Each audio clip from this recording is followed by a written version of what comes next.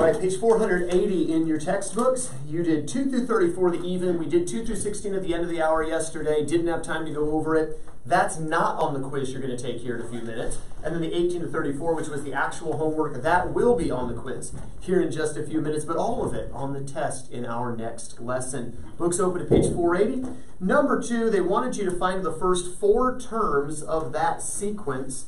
And um, it's not arithmetic, it's not geometric, it's just a sequence. And uh, they give us that rule. What do we call that rule, class?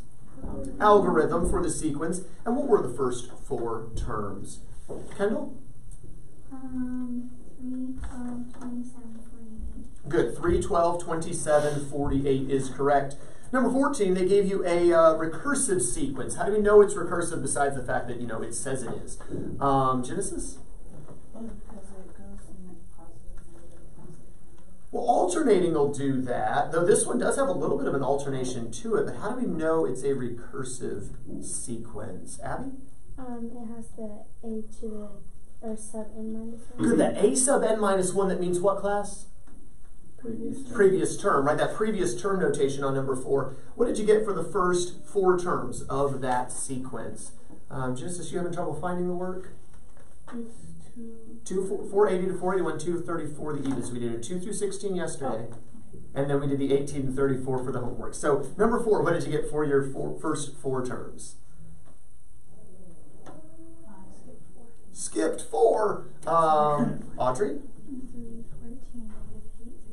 3, 14, negative 8, 36. Good. 314, negative 836. Again, no apparent rhyme or reason. It's definitely not arithmetic, definitely not geometric. Uh, but you start off with a 3, plug it in, work it out, gives you 14. Plug in the 14, gives you negative 8. Plug in the negative 8, gives you 36. And it will end up alternating, but again, it's not alternating geometric, it's alternating recursive. Does anyone need to see 2 or 4 worked? All right, do you understand it now, Genesis? Because again, we will have problems like these on the test tomorrow. Any questions, 2 or 4? All right, number six, head offhand there, Michael. Uh, we do have an arithmetic sequence. And arithmetic means what again, Brandon? We're going to add the same thing over and over again. What do we call that value that we add over and over again, Michael? Well, the term is the number, the numbers in the sequence, but that thing that keeps being added over and over again, Maddie? Common difference. On number six, what is the common difference? Back to Michael. Mm, negative eight. a negative 8. It looks like we're subtracting 8, and practically you could think that if you want to, or think negative 8 for the common difference. What is that next term then? Back to Brandon. Negative twenty-three. Negative Uh, number 8, they want the uh, a certain term in the arithmetic sequence. What's the formula we need to use to find a particular term in an arithmetic sequence, Michael? Um. Look a minute. Look. Hmm, Audrey, help? Is it a to sub n equals a sub n um, plus n minus one d. Good. So instead of times r to the n minus 1, it's plus d times n minus 1. And it wanted us to find specifically the 12th term, so a sub 12. They tell us that the first term in the sequence is Um, 10, 10, and the common difference is negative 4 negative thirds. thirds. Um, the n minus 1 ends up giving us an 11. So we're going to multiply, which is going to give us a weird fraction. Add the 10. What do we get for the 12th term? Negative 14 thirds. Is correct, or negative 4 and 2 thirds, or negative 4.6 repeating. How many have one of those for number 8? All right, questions on that? Make sure we've got that formula memorized for tomorrow. Number 10, uh, we're finding the series of 5 from, I think it's 1 to 22. It'd help to have the book with me. Yes. And uh, what kind of series is this? What's the name of this kind of series, Abby? Constant. A constant series, because all I have is a constant. And what's the formula I need to use to solve a constant series? Uh, c times n. c times n. Take the constant, multiply by the upper bound, and uh, I just get 110. 110. How many out of 110 for number 10? Excellent. Number 12, we have a series of i squared from 1 to 12. And uh, what do we call this particular series? Genesis? Um. Series of squares. series of consecutive squares. And what's the formula we use here? It's a lot more involved than just CN. Do you remember? Um, it's gonna be n times n plus one. Um, times two. n plus one over six. There we go. So we're going to take that upper bound, one greater, one more than doubled, divide it all by a six. Of course, I'll just cancel and get a two. And we end up getting what for our answer here on number 12? Uh, five forty-six. Hmm, Kendall? That's what I had. You had 546 also. Six fifty. 650. Check the numbers plugged in. Did you use 12, 13, and 25? Look at your work. Obviously, you did it on the calculator, there's no way to check it. By the way, throwing a plug here on the test tomorrow, if you'll take the time to show this, if you plug something in wrong, you're going to get nearly all the credit. If I don't see any of this and I just see a wrong answer, I cannot give you anything. If you'll at least write this, I can give you at least half the credit. Okay, so the more you show me, the more partial credit there is. So I have no problem with just getting the answer as long as it's right but you don't want to just get one wrong, okay, and then up losing all that credit. How many did have the 650? All right. Do either of you see where the mistake was? Where was it? I had an um, 11, 7, 13. Oh, you did n and minus one, and then two. Okay, gotcha. Okay, that would do it. And apparently Genesis the same. Um, looking at number 14. It's another series of i squared, but this time it doesn't start at 1. It starts at 12 and goes to 17. Michael, how do I handle this series? Um, you find one to seventeen and then one to eleven. Good. Find 1 to 17, and then find 1 up to almost this, one less than this. And uh, what do I do with those two amounts I'll get? Um, you do seventeen times. Oh, you subtract. Just subtract them away. So we'll do the 17, 18, and that ends up being what, a 35 all over 6? We'll subtract 11, 12, and 23 all over 6. What did you end up with for your answer there on number 14, Michael? Negative one thousand two hundred seventy-nine. Not the negative. I'm, I'm not sure what happened there. It should have been a positive, 1,279. I think you subtracted this minus that instead of the other way around. Yeah, I just Uh, put a negative in there. Okay, but uh, yeah, 1,279 is correct. How many had that for number 14? Does anyone need to see it worked out, or we feel like that's enough work showing you see what should have been? Questions? And partial consecutive uh, squares is what we've got here, partial consecutive series, because it's only a part of the whole series, 1 to 17. And the number 16 was a fun one uh, because we're finding the series from 1 to 14 for a complex algorithm, or actually, it's not called an algorithm in a series, is it? If it were in a sequence, it'd be an algorithm. What's it called in a, or in a, yeah, what's it called in a series, class? The argument. It's the same basic idea. It's just called an argument now. What do I do with this thing that looks really complicated? Maddie? Um, you separated out. Okay, to get, Five to 30 times the series. Um, I squared from 1 to 14. Plus um, 4 times the series of 1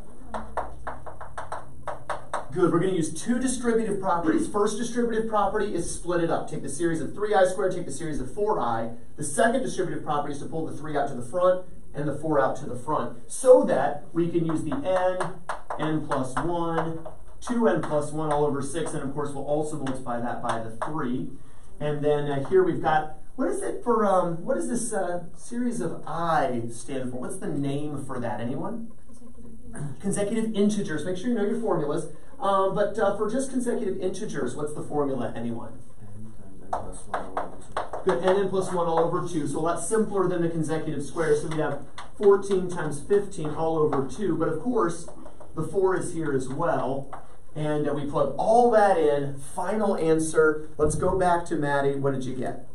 Uh, it's not 1,295. Brandon? Uh, 3,465. 3,465 is correct. So uh, take a moment if you didn't get that, maybe recalculate some things and uh, make sure you're good to go there. Any questions on these series? It's been a little while since we've done these. Okay, we had a quiz with them, and overall we handled the quiz really well, but it's been a little bit. Any questions on stuff we are going to see on the test tomorrow? Any questions on this? Yes, sir. Um, will you have like things where we have to put the actual formula? Um, I need to at least see, like, for instance, this much tells me you know the formula. So if you see that work. yeah, that, that's that's that's really good work. So yeah. we don't have to know the actual formula. You need to well, you need to know this in your brain so you can do this with the numbers. Because I just jumped straight to that and Yeah, I, yeah. This still shows me though that you know n, n plus one, and double plus one, two n plus one all over six. So it, it, you don't necessarily have to write this every single time. But if I can see that work, I know the numbers you used. That means I know the formula. So I really would prefer this. You could do both. But I need to see. I really, for your sake, need to see something just in case. You know, you punch something in wrong. You know, your button tries to hit the plus and you hit a minus. But I mean, all kinds of fluky things happen on a calculator. So for your sake, show the work. But great question. Good. Any other questions? Are there any that, before we get into the quiz review, which is the, the actual homework assignment, are, is there anything from the early part of the homework, the 2 through 16, to say, can we do another one like this? Yes, ma'am. Um. The partial consecutive? No, let's do another partial consecutive uh, series. All right, so let's suppose I want the uh, series of i from 5 to 13. Let's do the series of i from 5 to 13 at your seats. Give you a minute or two head start and then I'll work it out.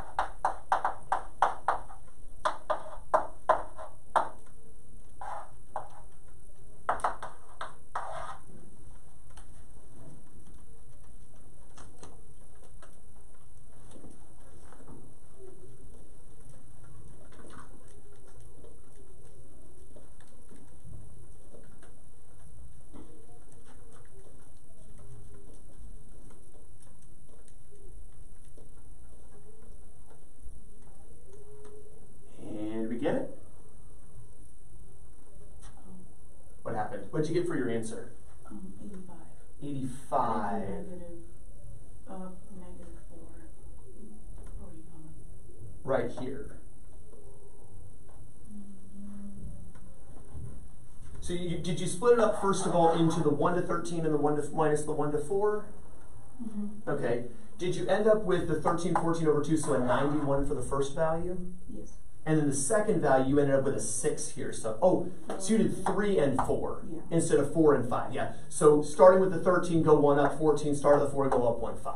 So you kind of slipped back into that n minus 1 mentality that we use a lot in geometric work, not so much in the arithmetic. All right. Feel like you've got it now, though? Mm-hmm. All right. Question. Any other questions on the stuff from the first half of the homework? Genesis, any other questions? Anyone else? Any other questions on the early stuff? Again, not on the quiz today, but on the test tomorrow.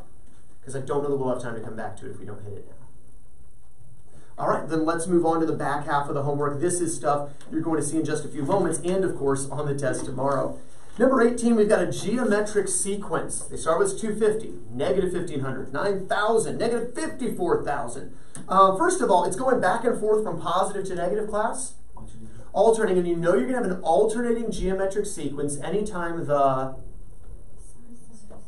well, yeah, the signs are switched, but what makes the sign switch?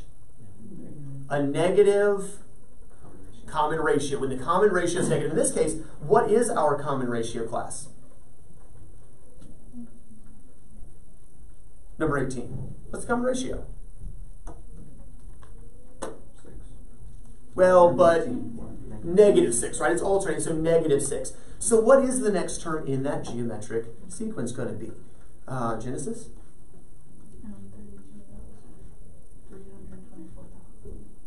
Good, positive 324,000 is correct. Uh, number 20, uh, we go from 5 down to only 5 sixths, down to a 536. What do we keep doing over and over again here on number 20? What is that common ratio? Audrey? Maybe from to five, six.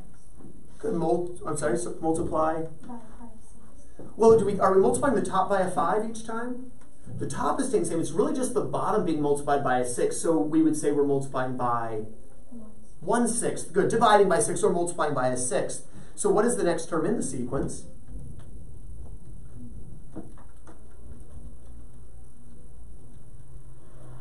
Um, five over one thousand two hundred. Good. You know the five is going to be this. Really, just multiply the bottom by six to get one thousand two hundred ninety-six. What type of sequence would that be, by the way, class? Since the numbers are getting smaller and smaller and smaller. Converging uh, geometric sequence there. Common ratio one sixth. And again, how do I find the common ratio? Like sometimes it's just obvious. Other times you have to do some calculations. How do you find it, Kendall? Um, the previous term. Good. Pick any number that they give you and divide by whatever comes right before it. Divide by previous, that'll give you common ratio. Uh, questions 18 or 20? How many had both of them correct? You were good on both 18 and 20. All right, makes sense now? All right. Number 22, you're finding the indicated term of a number in the sequence. What is the formula for a geometric sequence to find any number term? Abby? Um, a sub n equals a sub one times r to the n minus one. There we go. And uh, so, for instance, here in number 22, they want the eighth term. So we're finding a sub 8. Uh, the first term, of course, Five, 5, the common ratio. seven, or wait, Number 22? eight. Number 22? The common ratio, Oh, r. six. I was looking at the 6, there we go. And then the r minus 1 means we're going to raise to the one. Seven. seventh power there. Not sure why I didn't finish the 7. And so we get a really enormous number for the eighth term because it's getting bigger very quickly, Abby. One million three hundred ninety-nine thousand six hundred eighty. Good. 1,399,680. Number 24, we're finding the seventh term, so we're finding a sub 7. The first term, of course, here, Genesis Six, 6, and the common ratio. Oh, I'm not looking for the answer, I'm just looking, what's the common ratio in number 24? The R. yeah, about three sixteenths. Okay, on 24, take any number, preferably the 3, and divide it by the previous term. Three, divide by three. Divide by previous term. Okay, so we got a 6, we got a 3, we got a 3 halves, we got a 3 fourths, blah, blah, blah, right? Take any number, divide it by the term that comes right before it. 3 6, or in other words, Um, reduce it down one half. By the way, technically you don't even have to reduce it, but I like to. So yeah, we're, we're basically cutting everything in half. 6 to 3, 3 to 3 halves, down to 3 fourths, and so forth. We're going to raise it, remember, the n minus 1 power. So in this problem, we're going to raise this to the sixth power. And uh, what do we get for our answer on this one, Michael? 332. 332, 330 seconds is correct. Um, questions on either 22 or 24? Questions on either of those? How many got both of them correct? Good on both. All right, questions on either of those? We understand them now? Going to be able to do it in a few minutes on the quiz and tomorrow on the test? All right. Uh, number 26, is it converging or diverging? And how can we tell, Maddie? Good. They're approaching either infinity or negative infinity. Obviously, in this case, positive infinity. So diverging. Uh, number 28. Uh, finding the sum of the indicated number of terms. What do we call a sum of terms in a sequence class? Series. So we're basically finding a series of the first 10 terms. Would that be finite or infinite class? Finite, because we're only finding the sum of the first 10 terms. So we do S sub 10. What's the formula in general to find the sum of the first however many terms in a geometric sequence or a geometric finite series? Um, Audrey?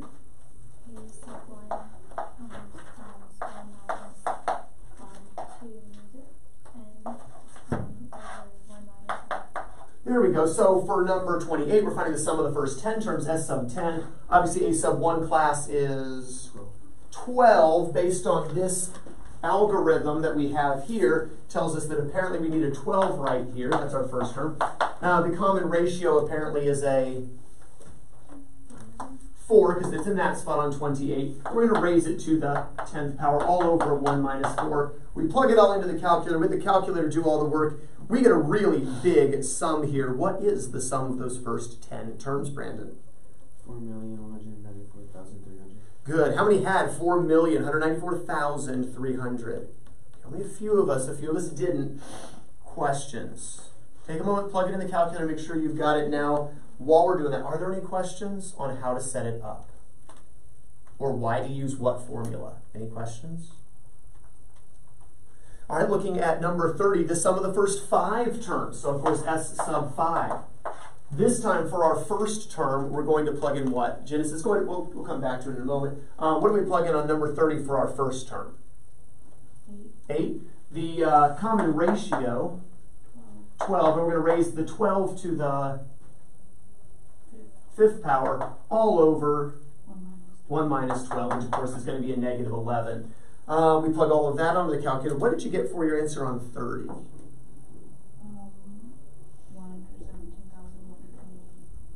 Hmm. No. Um, Maddie? No. Michael? I had 108,968. 180,968. So again, let me pause for just a minute, let you have a moment to plug these into the calculator. Because if the setup is right, obviously you're going to get a good portion of the credit. We want to be able to plug it in correctly as well. So take a moment, and if you're need, if you're getting the right answer now that you re-plug it in, that's a good sign. If you're still getting the wrong answer, raise your hand. I'll come help you with the calculator.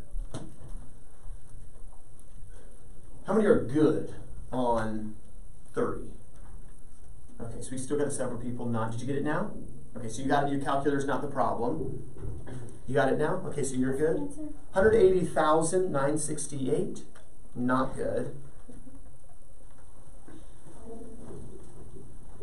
Are we plugging it in? Yeah, I put it on that one, I just was trying to figure out. Oh, so- I kept getting the wrong. Oh, okay. Careful. 1 minus the 5 is to the 12. Or the 12 is to the 5th. The 4 is to the 10th. So not 1 minus 4 to the 10th, but Oh, Yeah, not in parentheses, so 1 minus 4 to the 10th. Then multiply that by the 12 and divide by the negative 3. Yeah, so exponent, notice exponent goes inside the parentheses because people, you know, Gavin, Brecken, future people watching on YouTube um, might also be struggling with the end goes inside the parentheses. Don't subtract and then raise to the power, raise to the power, then subtract it from the 1. All right, do you have it now? All right, and you got it now? Okay, so we're good to go on this, at least as far as the calculator is concerned. Um, number 32. Um, we want to find the sum of the infinite geometric series defined and then identify as converging or diverging. So not the first however many terms, literally all the terms added together. Well, on number 32, what would you get if you added all those terms together going until the, well, it never ends, but all the terms theoretically in that sequence? Kendall? No finite sum because it's a rapidly diverging sequence there, so no finite sum. How about number 34? Uh, what did you get for that? Brandon? Uh, two hundred and seventy. It is 270, and we can find that sum because the series is, or the sequence is Converging. converging. It's getting smaller and smaller, closer towards zero. What's the formula we need to use to find the infinite sum of a converging sequence? S sub n equals a sub one all over one minus one. There we go, just knock off the, the hard parenthesis part. So we've got our a sub 1 is 180. The common ratio here, class? Well, common ratio is one third, 60 180ths or Oh. 20 60ths. But 1 minus one third ends up giving us a two thirds. When we divide, that's where we get the 270. How many had 270 on number 34? No finite sum on 32? Questions on 32, 34? Do we need to see any like these? Any questions? Going once on questions. Going twice on questions. All right, clear desk except for a clean sheet of paper, a pencil, and a calculator. Clean sheet of paper, pencil, and calculator. Everything else away. First name at the top of your paper along with today's date, which is 41922. 41922 today's date. And this is quiz 33. Quiz 33.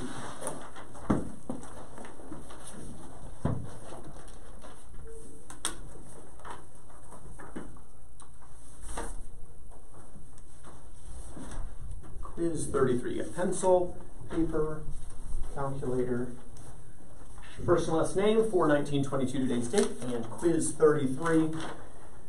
Uh, three questions at the beginning for you, uh, three formulas for you to match, and then uh, seven problems for you to solve. Follow the directions carefully. We'll resume the video after the quiz.